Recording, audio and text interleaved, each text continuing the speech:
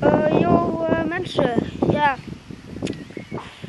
We stoppen ermee voor vandaag en eh, ook voorlopig, want we mogen niet meer vissen. De politie is net langsgekomen en ja. We zijn gecontroleerd, maar het is niet meer geldig, mijn vispas. Want het was een maand geldig en nu niet meer, blijkbaar. Dan ga ik naar die gasten, want je mag daar niet meer voegen. Daarvoor waarschijnlijk. Hoi. Jullie die vissen hier? Nou, Nee, wij hebben, ja. hij heeft zo'n soort vispas. En dat is maar 30 graden gelden of zo. En we wisten dat niet. En hij ehm, en ik zou even met hem mee gaan vissen, maar ik moest ook iets van een vis, ik moest ook een vispas hebben eigenlijk. Want of je, of je moest zo'n ding eens aanvragen dat je, dat je mee mag vissen. Dus nou, eh, nou hebben ze het wel door de vingers heen gezien. Maar ik ben op 10 juli jarig en dan krijg ik ook een vispas.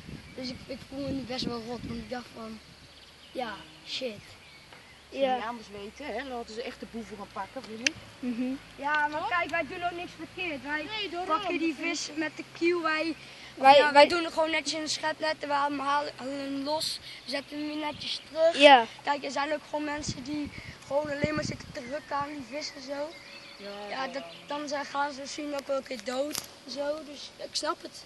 Sta je mij nou te filmen? Nee, ik sta mezelf te filmen. Oh, Dus ja, we, we- ach ja. Mhm. goed. eh hij Wij is mogen jullie vis zien. Ja, en eh, kijk.